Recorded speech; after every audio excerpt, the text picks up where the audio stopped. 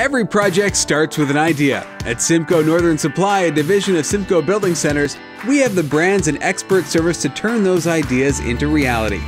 So whether you're building from the ground up or renovating your space, we have the guaranteed solutions.